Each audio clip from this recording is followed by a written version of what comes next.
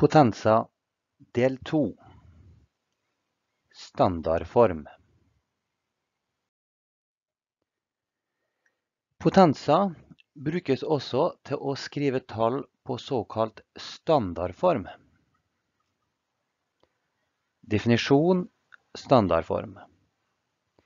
Et reelt tall B er skrevet på standardform dersom det er skrevet på formen B lik A ganger 10 opphøyd i n, der n er et heltall, og A er i det åpne intervallet fra minus 10 til 10.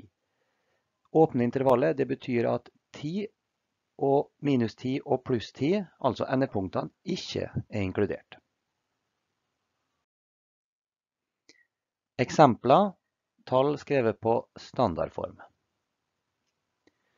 1000 kan da skrives på standardform 10 i tredje.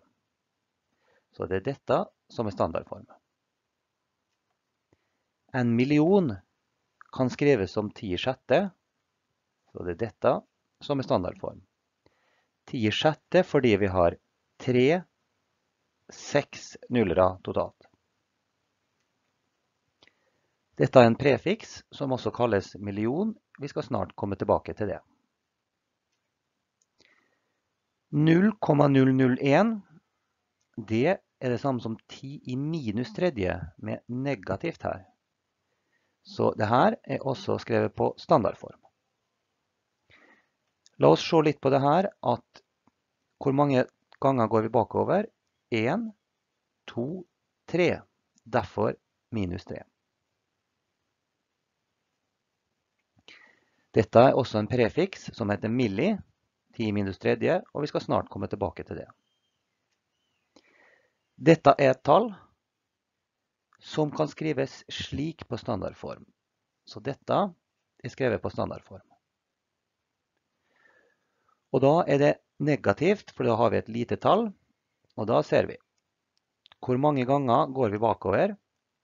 Starter vi her på kommaet, så går vi 1, 2, 3, 4, 5, 6, 7, 8.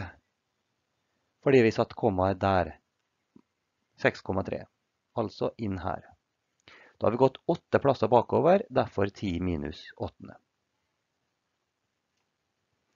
Så når vi har negativ i eksponenten, så har vi et lite tall. Når vi har et stort tall, så har vi et positiv eksponent. Og hvis vi bestemmer oss for å sette kommaet der, for dette er på standardform, så hvis vi setter kommaet der, så ser vi hvor mange ganger må vi gå, gå fremover. 1, 2, 3, 4, 5, 6, 7, 8, 9, 10, 11. Altså 4,52 ganger 10 oppe i 11. Det er et stort tall, for at vi har altså en positiv eksponent mens dette er et lite tall, for vi har et negativ eksponent. Kommentar. Standardform. Innledningsvis så viste vi denne. Og, har, og her har vi konklusjonen fra forrige slide, nemlig et stort tall. Da har vi altså en positiv eksponent i et stort tall. Her har vi et lite tall, og da har vi en negativ eksponent. Legg merke til det at det er dette tallet som er på standardform, og det er dette tallet som er på standardform. Prefiks. Ofte forekommende tierpotenser har fått egne navn og de kalles prefikser. La oss se på de mest vanlige prefiksene. Da har vi tierpotens, prefiks, symbol, navn og tallverdi.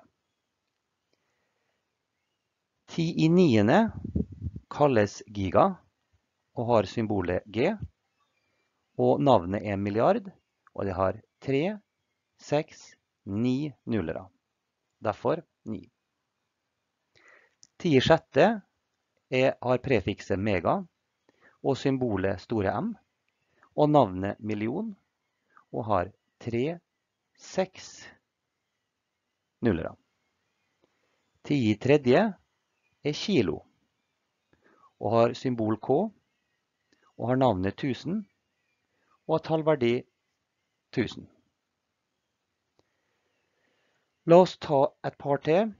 10 i minus tredje har prefikset milli og har symbolet M og er en tusendedel og er 0,001. Og til slutt 10 minus niende har prefikset nano og symbolet N og navnet er en milliarddel og tallverdien er 0,1 2, 3, 6, 7, 8 nullere her nå.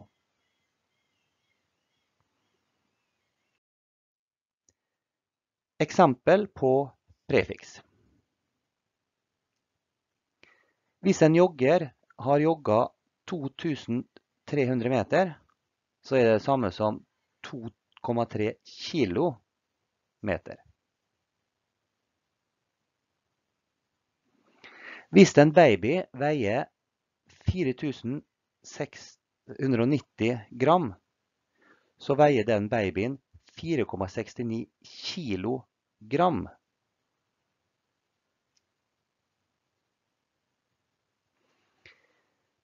Hvis en datamaskin har